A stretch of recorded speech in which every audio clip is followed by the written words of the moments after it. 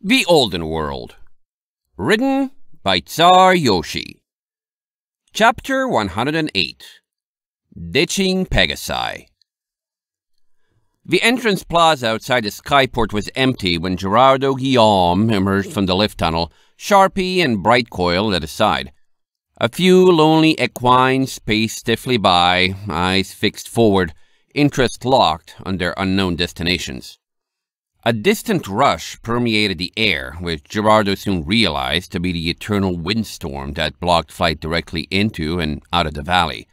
It sounded more like a waterfall than anything, though no rivers of meltwater made their way through the district anywhere near him. He shot a glance northward, where the hotel room Maple had booked lay empty. A small part of him clenched at the waste of money, but it was quickly overridden by more important concerns. Wherever Maple and Starlight were, it was in far less comfort and safety than they deserved, and than he had been charged with providing. All he could do was hope his mission to the Yaks would prove successful. Howe and Slipstream lingered in the back of his mind. The former still rubbed him the wrong way and was hardly a sad parting on Gerardo's side. From what he had learned of the Pegasus, it likely wouldn't be their last, but that was a bridge to be crossed when it came. Slipstream, on the other Talon, he hadn't even gotten a chance to ask anyone to say farewell to. Hopefully, she wouldn't remember him poorly and would be fine, stuck with Howe.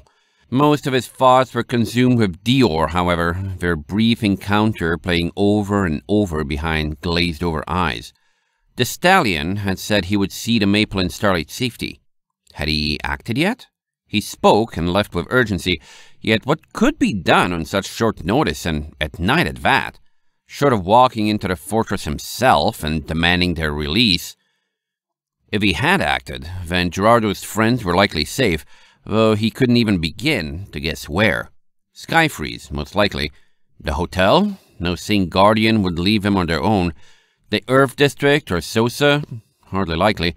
Few options seemed even remotely reasonable, and if they had been taken care of, his own presence shouldn't be needed to ensure their safety. No, he had time to pursue his crates. Those were equally, if not more so important, for unlike the ponies, Dior certainly wouldn't help with them. A loud sigh from Sharpie broke him from his thoughts. It's a 20 minute flight from here to the embassy. We shouldn't waste time standing around. Gerardo raised an eyebrow. Flight? His eyes flicked to Sharpie's folded wings, and then to Brightcoil standing demurely with her horn dull on her forehead. Unicorns couldn't fly. Crouching almost low enough to the ground for her business suit to scrape the roadway, Sharpie ignored him, beckoning to Brightcoil with a wing. The unicorn strode closer before climbing onto her friend's back in a well-practiced series of motions, forelegs locking tightly around her neck. I see, Gerardo mused, bringing a talon to his chin as Sharpie flapped, face crunching in exertion as she gained altitude and hovered out over the cliff edge. Flying for two, the Pegasus's progress was hardly going to win any races, and Gerardo stood for a moment before spreading his own broad wings and taking off. In a matter of seconds, he had eclipsed Sharpie and Brightcoil in distance and pulled to a halt, not wanting to embarrass the pair. Sharpie's suit made it impossible to tell how toned her muscles really were, but it was at least clear she wasn't an athlete, her flaps were broad and desperate, lacking some of the finer wing control displayed by any flyer used to performing professional maneuvers. Having allowed them time to form another lead, Gerardo sped up, and immediately passed him once again, despite his best efforts. Will you stop? Sharpie snapped. You're literally flying in circles around me. I don't need another reason to feel bad about myself tonight.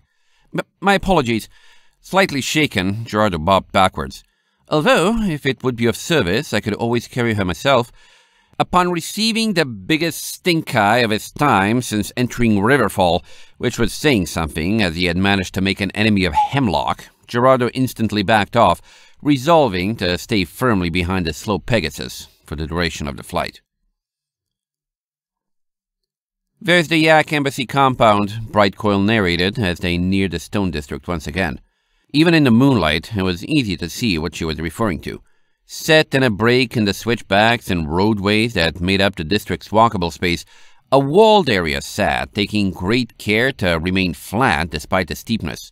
In the back, it carved itself into the mountain, and in the front, extended in a platform all the way to the wall tops, gargoyles and crenellations acting as architectural staples. Inside the courtyard, several buildings stood, but it was the outer gate where Sharpie finally stumbled to a landing. Ugh. Panting, she brushed her suit off and blew a stray mane hair away from her mouth, produced a card key from a pocket, and strode up to the gate.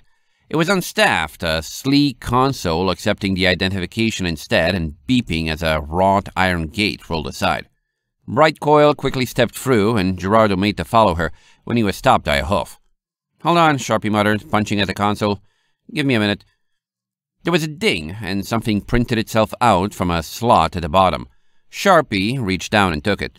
Visitor badge, she mumbled around the scrap. Take it. You need it in here, and it's not my fault if you get in trouble without it. This isn't Iron Ridge anymore. Gerardo nodded, affixing the card to his lapel. Completely sensible. I shall endeavor to keep it as safe as safe can be. Suit. Suit yourself. Sharpie bit back a yawn. Our quarters are this way. I'll handle things in the morning. And now I'm tired, so don't bother me until then. At all. Of course, Gerardo replied, nodding once again and slipping in behind them in silence. I seem to see what you meant about only having one bed, Gerardo remarked, standing in the entrance to Sharpie and Brightcoil's generously named house. It wasn't so much a statement about the number of beds in the room as a testament to the lack of anything besides that one bed. Two suitcases lay open against the wall, a closet-sized room sat in a corner that likely had no space for a shower, and there was a tiny table with standing room only. The walls were undecorated and predominantly gray, as was the floor, ceiling, and single window. There was a small mirror, a half-unpacked bag of groceries, and that was it. It isn't much, Brightcoil admitted, standing next to Gerardo as Sharpie shrugged her way out of her suit. It's less that we're poor and more that it's hard for the Yaks to be fond of ponies in a profession like hers, and we only live here because Skyfreeze makes them let us. Someday, when Sharpie can retire, we're going to buy a nice Stone District mansion with plenty of room and live more happily there. Or maybe we'll even go to a nicer part of the Earth District and never have to deal with Upper District problems again. Everyone talks like it's a slum district, but almost all of them have never actually been there. Really, parts of it are very nice. Finished with her suit, Sharpie slivered up between the bed and the titanic mound of blankets, disappearing completely. A single hoof stuck back out, padding an invitation. Brightcoil looked at it, then back at Gerardo. You can sleep on the floor or wherever, I guess. I really do hope in the morning we can help each other, Gerardo. As do I, Gerardo whispered back as she joined her companion under the covers. As do I. End of chapter 108.